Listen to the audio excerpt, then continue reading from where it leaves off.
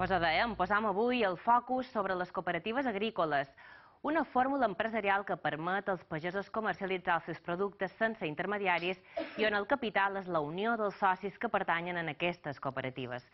Començam amb la de Pollença, que ja suma 40 anys de trajectòria. Passa per un bon moment gràcies a l'especialització en fruites seques i també en el me de qualitat.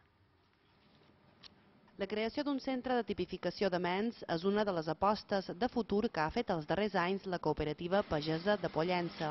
Martí Solivelles, que presideix l'entitat des de 1985, creu que la clau de l'èxit de la cooperativa és que ha sabut conjugar la rendibilitat econòmica amb les necessitats dels pagesos locals. La cooperativa d'aquí va néixer un poc per la regulació del mercat. Aquí abans hi havia només uns, un magatzem privats i eh, en els productes els posaven els preus que el volien.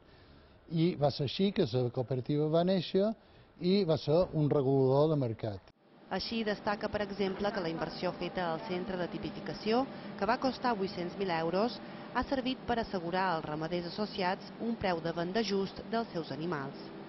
Nosaltres el que no ens interessa és que el met de baixa qualitat vagi a l'escorçador, perquè, en primer lloc, sempre te diuen que, que xerec, que el preu no és bo, el pagès perd, molt de dobbers amb això, i els aduen aquí i se fa una tria d'ella. A més de me de qualitat, la cooperativa està especialitzada en comercialització de fruites seques, principalment la garrova.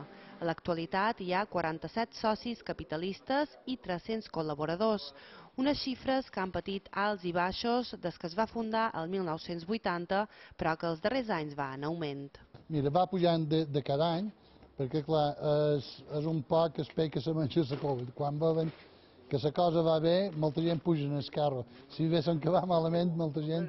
Jo vaig haver de viure una reestructuració a la cooperativa antiga i, i clar, hi havia també cent i pico de socis i en van quedar 45 o 50, però bueno, és que no s'ha de forçar ningú que estigui a dins la cooperativa. Si un no està a gust, ha de sortir i si vol tornar a entrar, se li ha de donar facilitat per tornar a entrar. Hores d'ara la cooperativa disposa d'una nau al polígon i dues botigues físiques d'alimentació i estris per a la llar en les quals treballen nou persones.